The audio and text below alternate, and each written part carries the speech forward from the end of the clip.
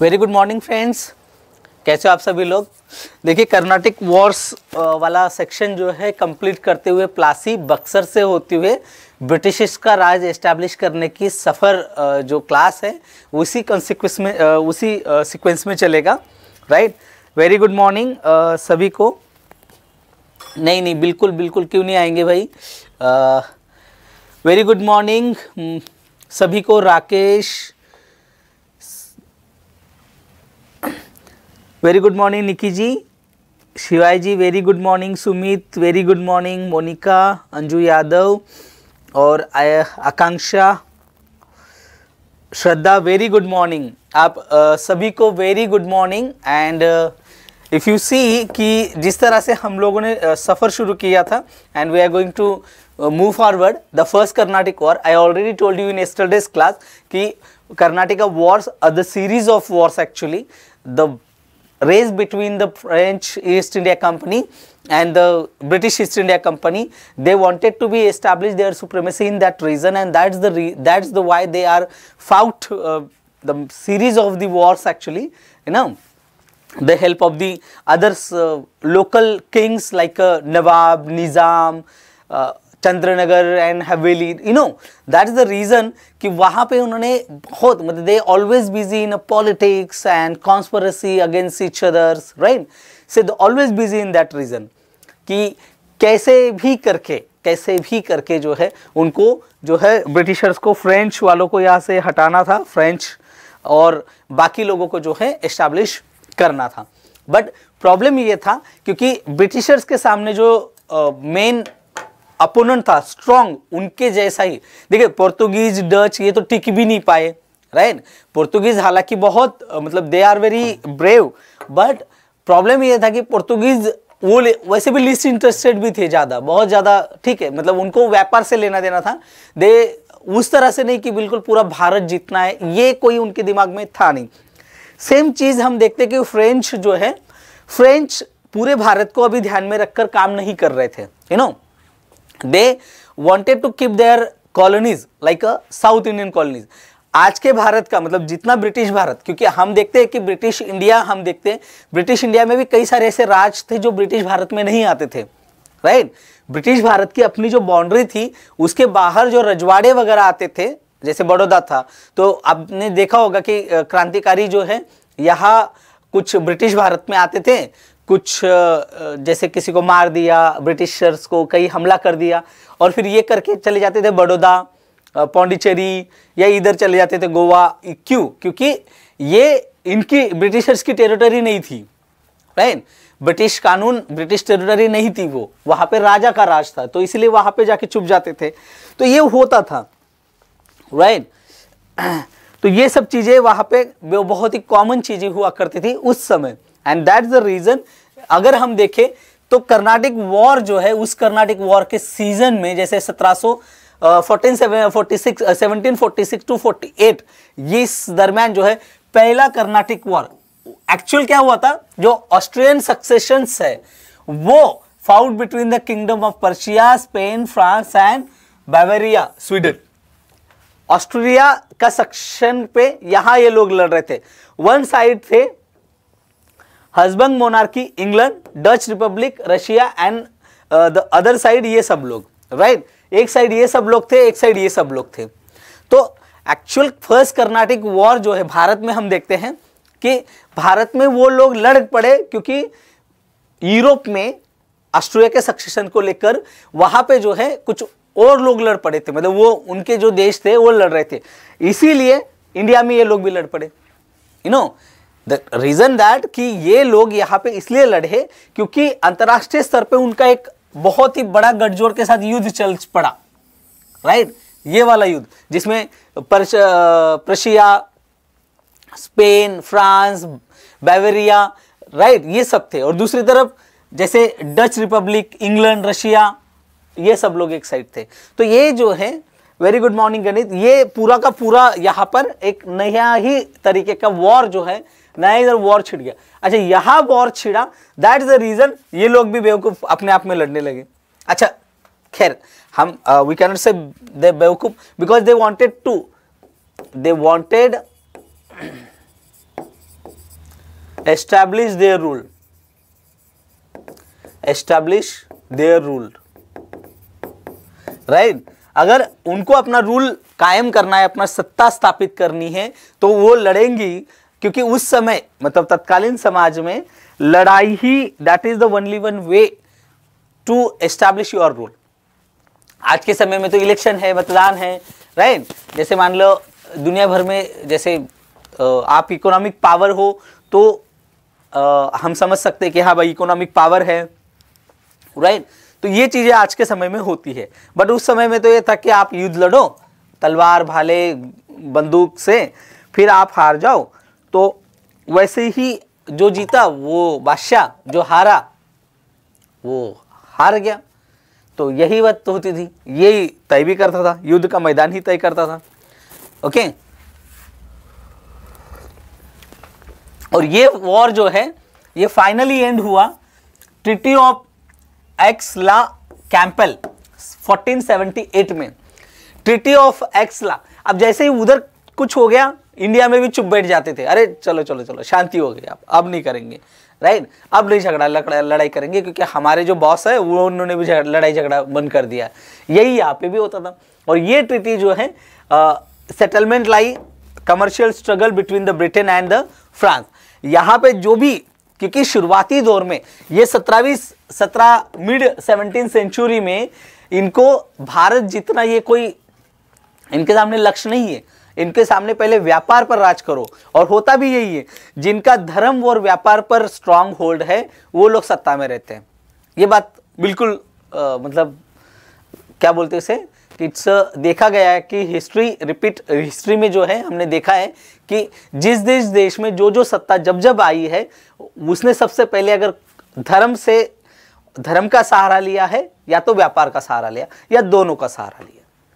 धर्म और व्यापार, ये दो ऐसे टूल्स हैं जो आपको, आपकी सत्ता एस्टैब्लिश करने में बड़ा सहयोग देते हैं, बहुत ही बड़ा सहयोग देते हैं। Very good morning Sunil right very good morning Prussia का कोई रोल नहीं है राकेश राइट मतलब मैं एक्सप्लेन करने के लिए कर दूँगा बट वो ना ही हमारे सिलेबस का हिस्सा है ना कुछ। प्रॉब्लम ये है कि जैसे होता है ना, जैसे गुड बना। अब सेकंड वर्ल्ड वॉर में भी आपने देखा होगा कि गुड बना गुड बनते हैं, क्योंकि वो अगल बगल के राज होते हैं, हर किसी का अपना इंटरेस्ट होता है राइट दैट्स द रीजन बाकी उसका बहुत ज़्यादा सिलेबस से कोई लेना देना नहीं। मैंने इसलिए लिख दिया क्योंकि वो भी ग्रुप थे। पता चले, भूले बुसरे, खैर तो पूछेंगे नहीं बट मान लो मेंस विंस में कहीं आपको काम आ जाए कि हाँ भाई, भूले बिसरे कि ये एक ग्रुप बना हुआ था। मान लीजिए कि भारत में ब्रिटिश राज का या फ्रेंच और ब्रिटिश के ऊपर मेंस में क्वेश्चन आ गया। तो you have a at least you have a documents और यू हैव अ मटेरियल कि, या फ्यू फैक्ट्स कि ओके राइट तो बस इतना ही। उसमें बहुत ज़्यादा जा, डिप जाने की ज़रूरत है नहीं। राइट इंडिया में जैसे से वॉर जो है यहाँ पे फ़र्स्ट कर्नाटिक वॉर हुआ। इनके ये पूरा अंतर्राष्ट्रीय सिनेरों के साथ साथ भारत में फिर पहला कर्नाटिक वॉर होता है। डुप्लेक्स जो थे डुप्लेक्सी वो डुप्लेक्स जो था वो चाहता था कि वो जो फ्रेंच पावर है वो साउथ इंडिया में बनी रहे और वही अब ही wanted to be establish their rule but वो चाहता था कि वो अकेला ही बना रहे। मैं यहाँ का बादशाह मैं हूँ बॉस वो वाला फीलिंग थी कि मैं ही बॉस बना रहा हूँ साउथ इंडिया में कोई दूसरे की राज यहाँ आना नहीं चाहिए।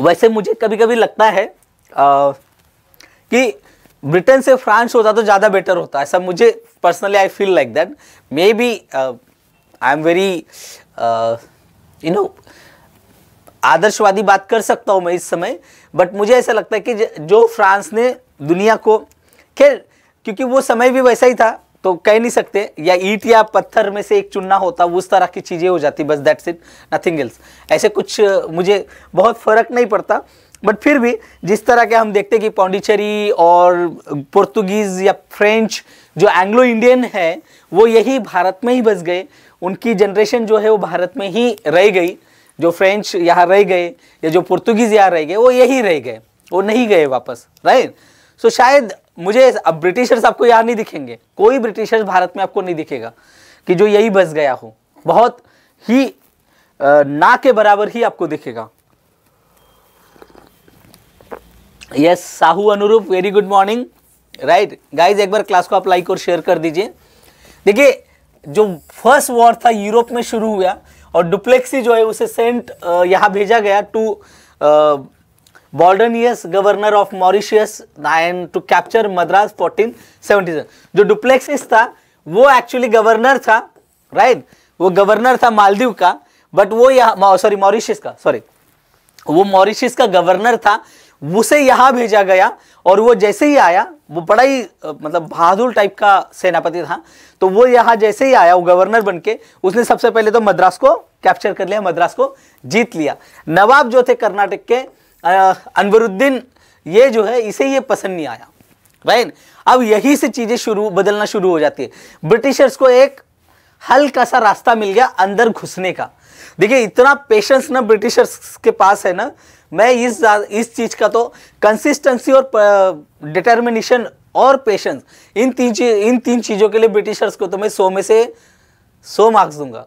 क्योंकि ये पचास पचास, सौ सौ साल इन्होंने वेट किया है कि कब वहाँ अपॉर्चुनिटी क्रिएट होगी और हम लोग वहाँ जाएँगे और सब कुछ हथिया लेंगे ये चीज़, और यहाँ आप देखो, जैसे ही गवर्नर जो मॉरिशस के गवर्नर थे, डुप्लिक्सी भारत में आते हैं और उसने मद्रास कैप्चर करता है वो।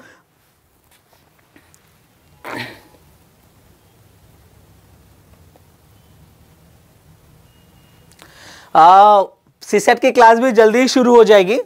डोंट वरी इसकी भी बात चल रही है। Very good morning Hritik I miss your comment okay very good morning right so reason that कि यहाँ पे जो है अनवरुद्दीन को यह बात पसंद नहीं आई और यही एक अपॉर्चुनिटी थी जहाँ पे ब्रिटिशर्स घुस गए राइट यही एक अपॉर्चुनिटी थी। और यहाँ से जो है, ब्रिटिशर्स ने अनवरुद्दीन को अपने तरफ़ कर लिया। ये ऐसे ही होता है। ये कभी को इधर कर लेंगे, कभी को उसको अपने तरफ़ कर लेंगे।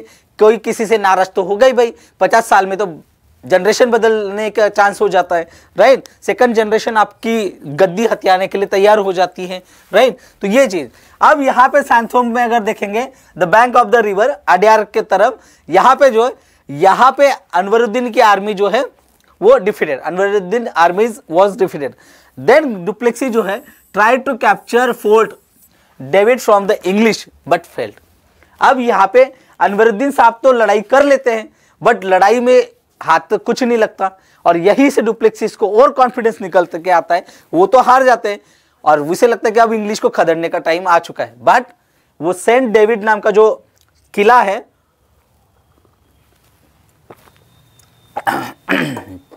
वो हथियाना चाह रहे हैं बट यहाँ पे उसे जो है, वो फेल हो जाते हैं। इंग्लिश जो है,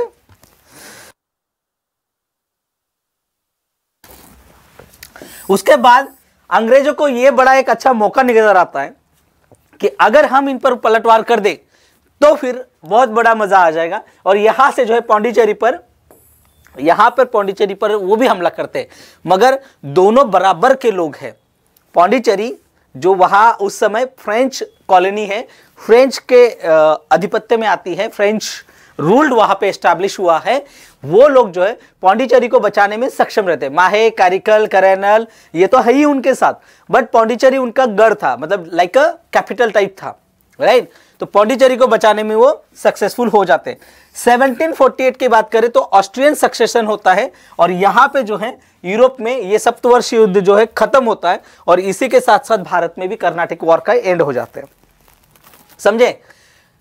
सिंपल सिचुएशन है। जैसे ही अंतरराष्ट्रीय स्तर पर ये लोग बंद हो जाते हैं यहाँ पे भी वॉर जो है ऑलमोस्ट खत्म।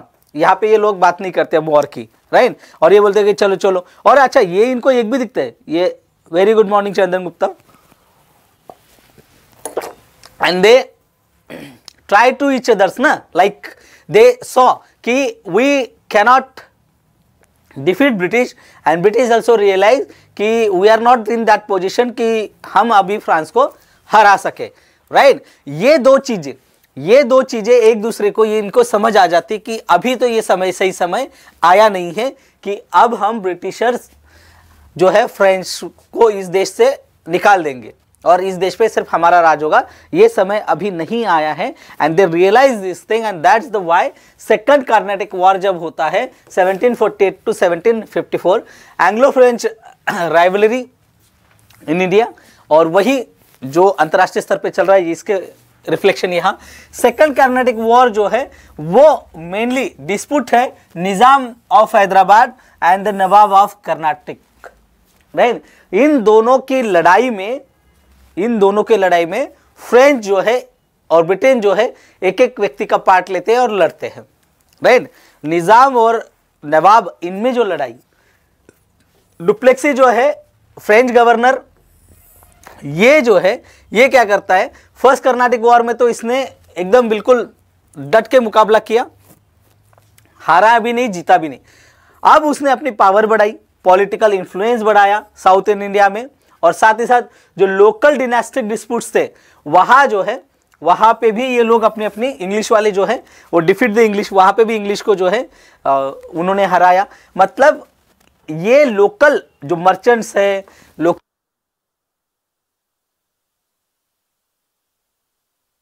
राजकुमार है राइट इनको लोकल इन्फ्लुएंसर में अपनी पैड बना रहे हैं और वहाँ पे आप देखोगे कि डुप्लेक्सी और ये सभी लोग एक दूसरे को अपनी सत्ता बढ़ाने में ब्रिटेन भी वही कर रहा है।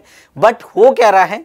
सेकंड वर्ल्ड वॉर में अब सॉरी सेकंड कर्नाटिक वॉर में जो है, आप देखोगे कि जो निज़ाम ऑफ़ हैदराबाद है राइट? जैसे ही निज़ाम ऑफ़ हैदराबाद, असफ शाह 1748 में उनकी डेथ होती है, यहाँ से जो है कंपटीशन शुरू होता है। नासिर जंग और उसके ग्रैंडसन जो है मुजफ्फर जंग में।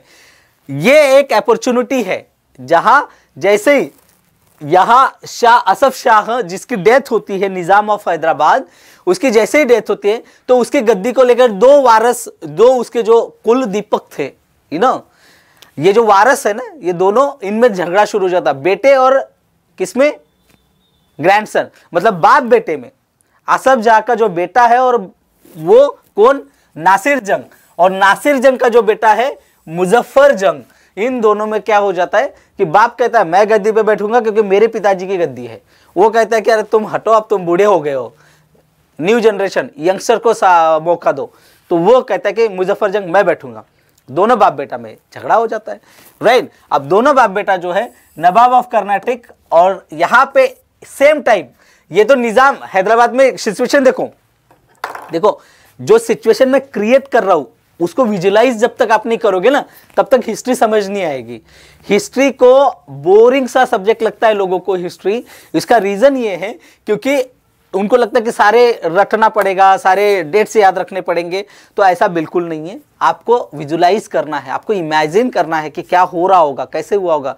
मतलब जैसे मैं ये बता रहा हूँ कि हैदराबाद और कर्नाटक की सिचुएशन तो हैदराबाद, कर्नाटक नज़र के सामने ले आओ। आज के ही मैप में ले आओ लगे तो।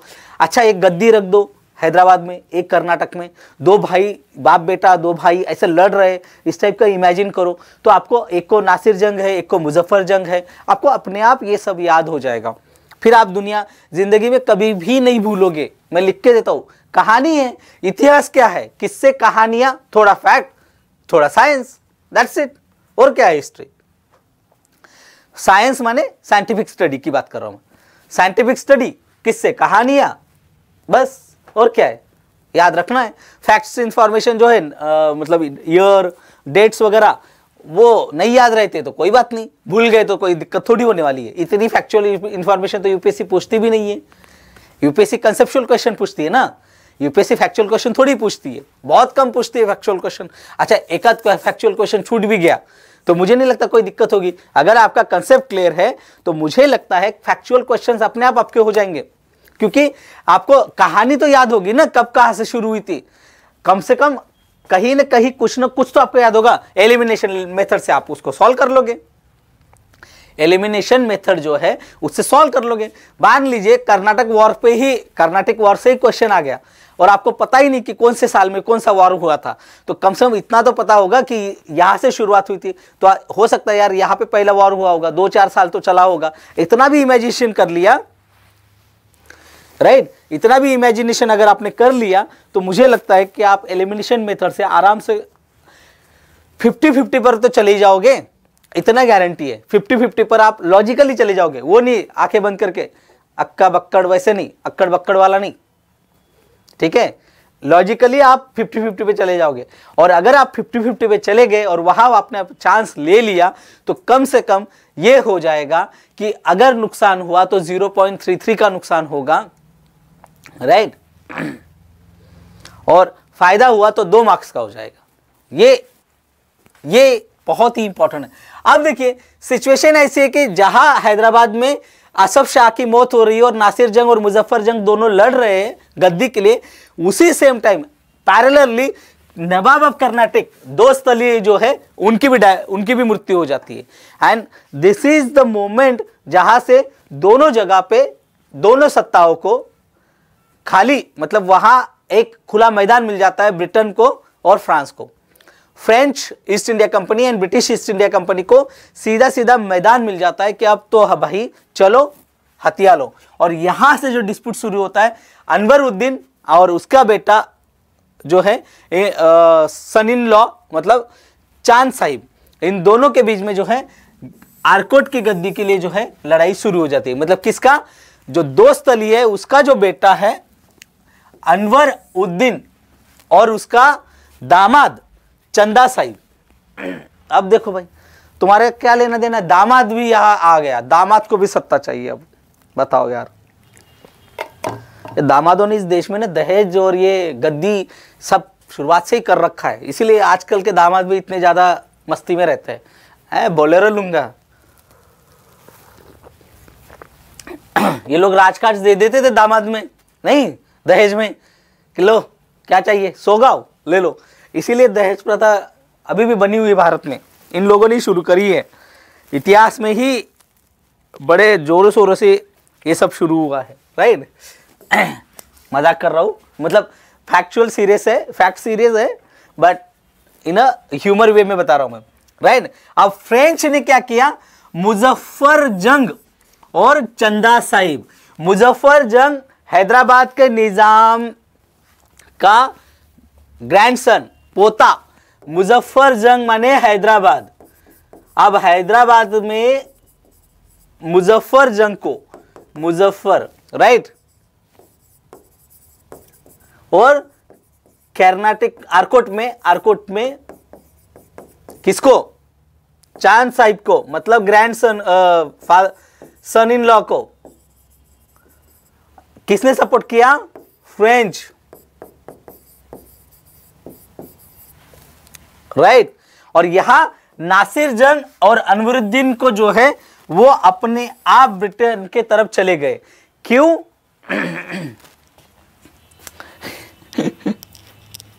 बिल्कुल। Right right.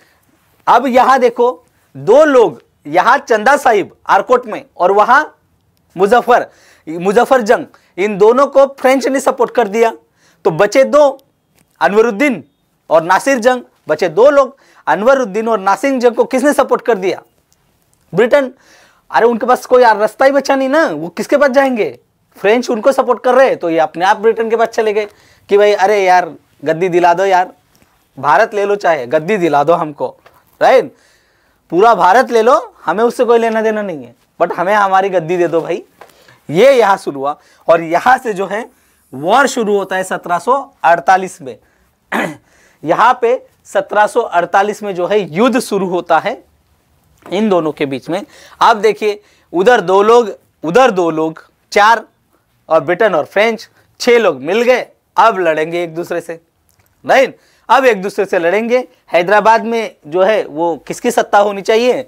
हर कोई चाहेगा कि मेरा पपेट बैठे गद्दी पे ताकि मैं मुझे पूरा व्यापार मिल जाए, पूरा पैसा जो है मुझे मिल जाए। अब यही से जो है सेकंड कर्नाटिक वॉर की शुरुआत होती है। अब फ्रेंच जो है, मुजफ्फर जंग एंड चंदा साहिब जो है defeated and kill with the help of the French Anwaruddin at the battle of Ambur 1749 he died and his son Mohammad Ali यहाँ से जो है तिरुचिपल्ली का जो है जो फोर्ट है, वो रिफ्यूज करता है और चंदा साहिब जो है, यहाँ पे नवाब ऑफ़ कर्नाटक बनता है राइट यहाँ से जो है, चंदा साहिब जो है, कर्नाटक के नवाब बनते हैं। फ्रेंच के हेल्प से। अब हैदराबाद में क्या होता है, नासिर जंग एंड मुजफ्फर जंग जो है, वो जनरल बुसी के द्वारा मारे जाते हैं ओके और फ्रेंच गवर्नर जो है, सलाबत जंग जो है, वो निज़ाम ऑफ़ हैदराबाद बन जाते हैं। राइट सलाबत जंग जो है उसे जो है हैदराबाद ऑफ़ निज़ाम बनाया जाता है। कौन से आ, किसकी बात कर रहे हो शिवाय आप? सर की क्लास होगी? कौन से सर की क्लास होगी?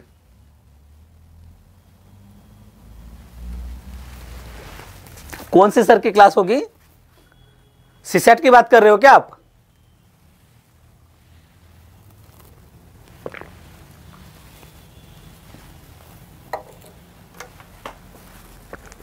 राइट अब रिटर्न में क्या होता है? फ्रेंच हेल्प करते हैं तो नॉर्दर्न पूरा का पूरा जो फ्रेंच को दिया जाता है नॉर्दर्न सरकार जो है, वो पूरा का पूरा पार्ट जो है, इस हेल्प के बदले किसे मिलता है? फ्रेंच को। चाहिए भी यही था। यहाँ पे सादत अली और यहाँ पे चंदा साहिब को जब वो नवाब और निज़ाम बना देते हैं तो उनको बदले में क्या मिलता है? बहुत कुछ। बहुत कुछ जो है बदले में मिलता है। शिवाय, आप किसकी क्लास के बारे में पूछ रहे हो? मुझे समझ नहीं आ रहा है। आप लगे तो एक बार क्वेश्चन फिर से थोड़ा कर दीजिए। और जितने लोग बने एटलीस्ट उतने लोग तो कम से कम लाइक कर ही दीजिए क्लास को। राइट क्लास को लाइक नहीं करे। आज लो आप लोग। क्या मियाँ, कैसी बातें करता तुम? हाँ? क्लास को लाइक तो करते, बनता कि नहीं?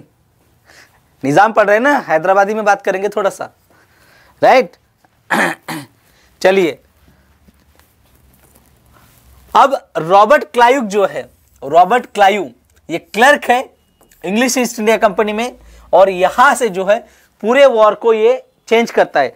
जैसे ही रॉबर्ट क्लायू, एक सिंपल मामूली क्लर्क, एक मामूली क्लर्क, ये जब अपनी बुद्धिमत्ता से, अपने ज्ञान से गवर्नर बनता है, right? Robert Clive, simple clerk, but ये देखिए, ये ब्रिटेन या यूरोप या ये बात अमेरिका या भारत और वहाँ हमें अलग करती है कि वहाँ पे जिस व्यक्ति में टैलेंट है, ये देखा ही नहीं जाते।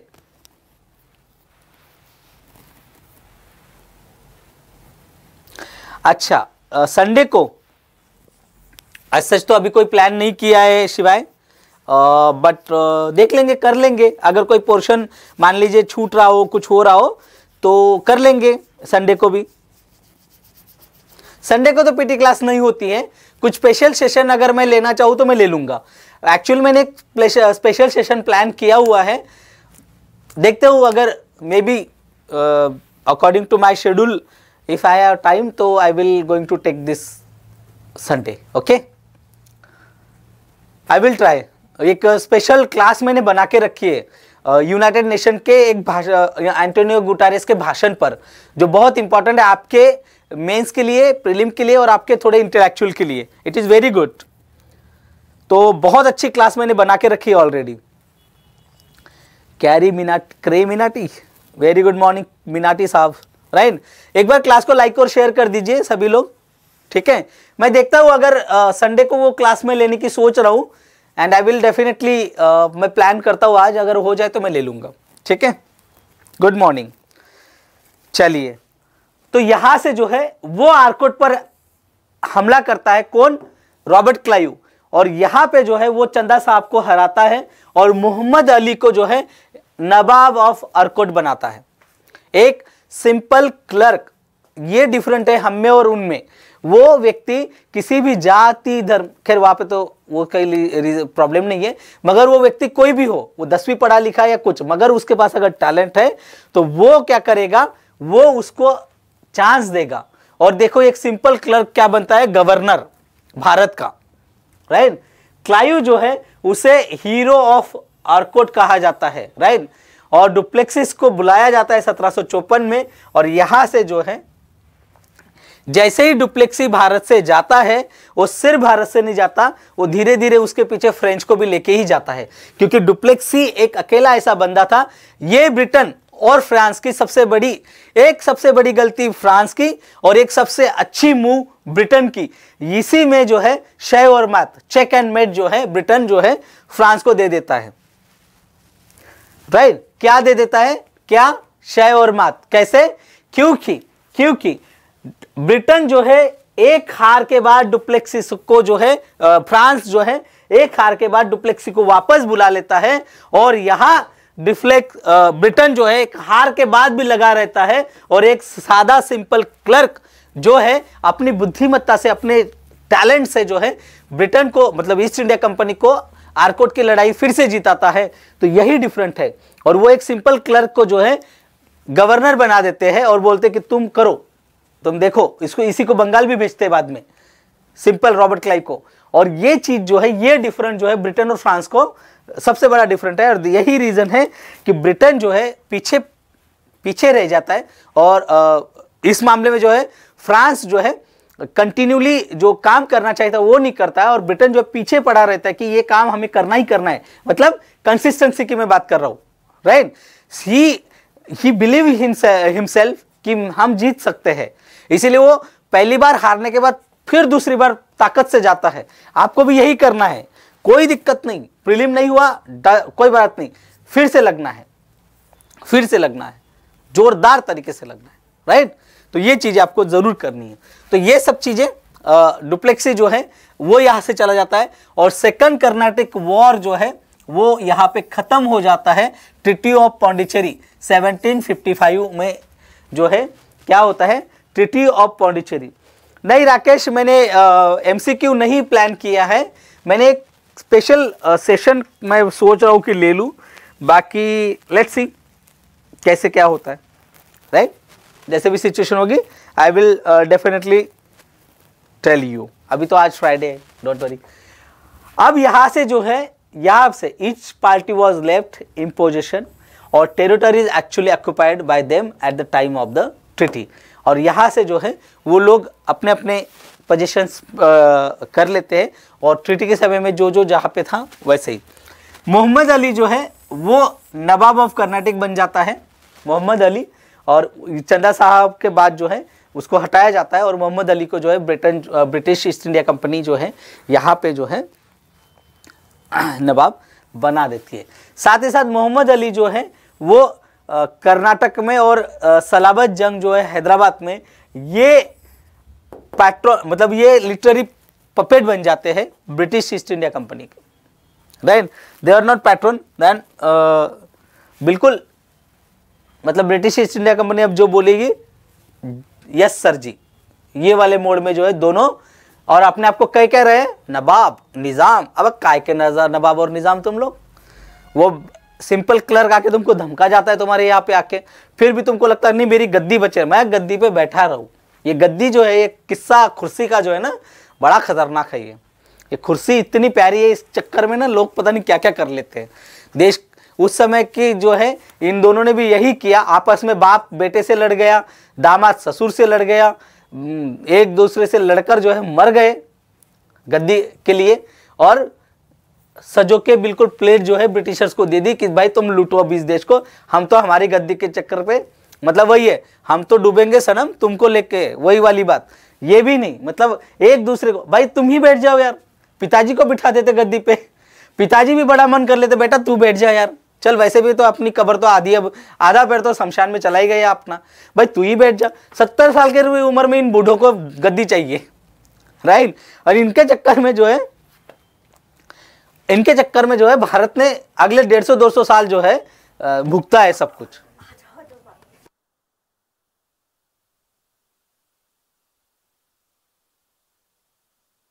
तो यहाँ से जो है आ, जो सेकंड कर्नाटिक वॉर जो है वो खत्म हो जाता है।